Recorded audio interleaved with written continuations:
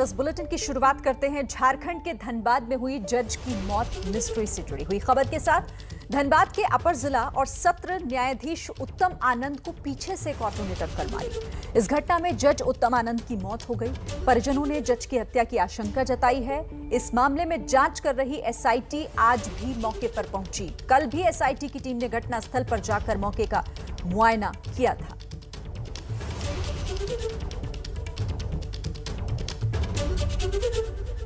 इस मामले में एसआईटी की जाँच अब आगे आगे बढ़ चुकी है। इस पूरी खबर पर हमारी संवाददाता निधि श्री की एक रिपोर्ट आपको दिखाते हैं। धनबाद के रणधीर प्रसाद वर्मा चौक पर मैं मौजूद हूँ और तीन दिन बाद भी धनबाद पुलिस की जाँच जारी है। सीधे आपको एक बार फिर घटनास्थल की तस्वीर दिखाना चाहूँगी, जहाँ पर एसआईटी की टीम जांचबीन करने के लिए पहुँची है। और देखिए, जहाँ पर आपको तमाम पुलिसकर्मी दिखाई दे रहे हैं, यही वो स्पॉट है जहाँ एडीजे उत्तम आनंद को एक ऑटो ने धक्का दी और उसके बाद उनकी मौत हो गई थी।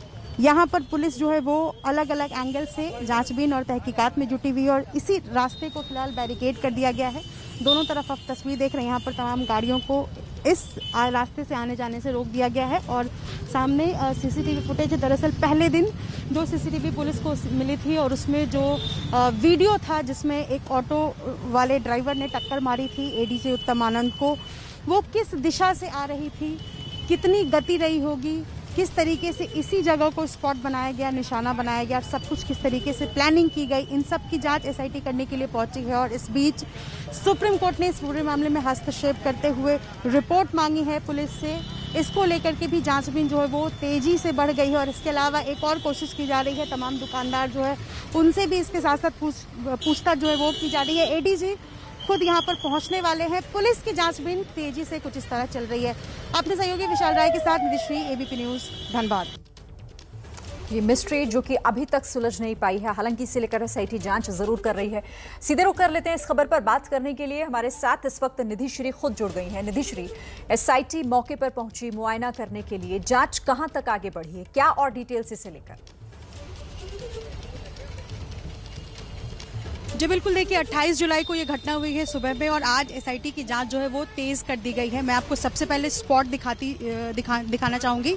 ये जो स्पॉट है, यहाँ पर आप देख रहे हैं, दरअसल पीडब्ल्यूडी डिपार्टमेंट की तरफ़ से जो एग्जीक्यूटिव इंजीनियर है वो यहाँ पहुँचे हुए हैं और ये टोटल सब स्टेशन इस इक्विपमेंट का नाम है। और ये वो स्पॉट है। देखिए वहाँ पर जो एक ट्राइपोर नुमा आपको मशीन दिख रहा है टोटल सब स्टेशन इसी से दरअसल रोड की लेबलिंग की जा रही है। यानी कि जिस दिन ये घटना हुई उस दिन जो ऑटो ड्राइवर ने टक्कर मारी उस ऑटो की गति कितनी थी क्या वाकई यहाँ पर रोड जो है वो थोड़ा अप डाउन जैसा है? क्योंकि ये, ये कहा जा रहा है कि आरोपी ने शायद ये कहा है कि बैलेंस्ड गड़बड़ हो गया था डिसबैलेंस हो गई थी गाड़ी, इस वजह से एडीजी को धक्का लग गया। तो उस उस आधार पर भी जांचबीन की जा रही है। दूसरी तरफ़ मैं आपको दिखाऊँ एसआईटी की टीम इस वक्त लीड कर रही है यहाँ पर स्पॉट पर। और देखिए बैरिकेडिंग बाकायदा किया गया है। आज सुबह तकरीबन साढ़े पाँच बजे जिस ऑटो से धक्का मारा गया था एडीजी को, उस ऑटो को यहाँ लाया गया था। यानी पूरा सीन रिक्रिएट कराया गया है सुबह तकरीबन साढ़े पाँच बजे। और यहाँ पर आपको अलग अलग एंगल्स में सीसीटीवी दिखाई दे रहे होंगे। इन सीसीटीवी के आधार पर भी एक बार फिर से जाँच की जा रही है। और देखिए, पुलिस को जो अभी तक अपडेट मिल पाया है, जो जानकारी मिल पाई है, उसके मुताबिक ऑटो लंबे वक्त से एडीजी का पीछा कर रही थी उस दिन। यानी 28 जुलाई को बहुत देर से पीछा किया जा रहा था, जब वो अपने घर से निकले थे मॉर्निंग वॉक के लिए। और ऑटो इस डायरेक्शन से आ रही थी।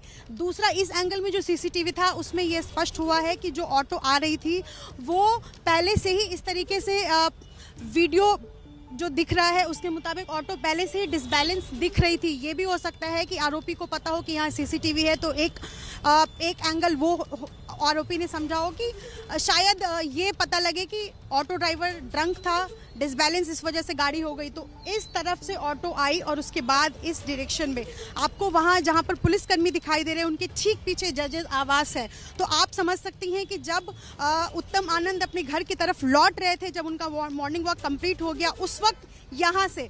ये जो जगह है, यहाँ से ऑटो अचानक से ठीक बाई तरफ़ मुड़ती है और चूँकि वो इस डायरेक्शन में उत्तम आनंद जो है वो धीरे धीरे वॉक करते हुए जा रहे थे तो ठीक यहाँ पर जाकर ऑटो टर्न लेती है, ठीक बाई तरफ़। और ऐसा धक्का मारा, ठीक एक धक्के में वो जो एडीजी उत्तम आनंद थे, वो बाई तरफ़ गिर जाते हैं और निकल जाते हैं। और चूँकि पोस्टमार्टम रिपोर्ट में ये भी आया कि हेड इंजरी उत्तम आनंद को लगी है तो क्या यहाँ पर लोहे का कोई सामान या कोई ऐसी चीज़ रखी थी?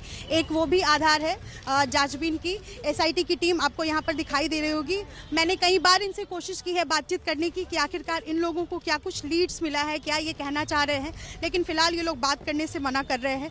एक बार फिर मैं कोशिश करूँगी कि सर, क्या आप लोगों को लीड्स सर क्या लीड्स मिला है?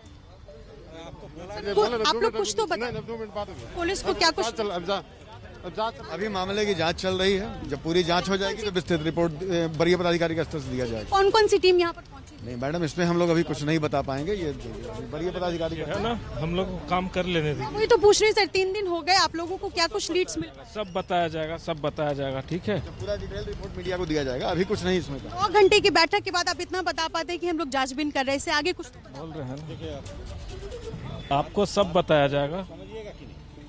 इससे ज़्यादा जानकारी ये लोग नहीं दे पा रहे हैं और तीन दिन के बाद भी ये लोग सिर्फ़ जो एसआईटी की टीम है या जो वरीय पुलिस अधिकारी वो सिर्फ़ इतना बता पा रहे कि आप लोगों को समय रहते सब पता चल जाएगा। कुल मिलाकर यहाँ पर जाँच जो है उसमें तेज़ी की गई है और स्पॉट की, स्पॉट को रिक्रिएट आज सुबह कराया गया है और सर, एक सेकेंड, सारी साइड हो जाए उस स्पॉट को रिक्रिएट कराया गया है और फ़िलहाल जो है वो जाँच में जो है वो चल रही इन्वेस्टिगेशन एक उस आधार पर भी किया जा रहा है। क्योंकि मामला हाई प्रोफ़ाइल है। अब इस घटना के बाद कई तरह के सवाल भी खड़े हो रहे हैं। एसआईटी मौके पर है मुआयना कर रही है। लगातार उस क्लू को ढूँढने की कोशिश की जा रही है जो इस गुत्थी को इस मिस्ट्री को सुलझाने की तरफ़ आगे बढ़ा सके।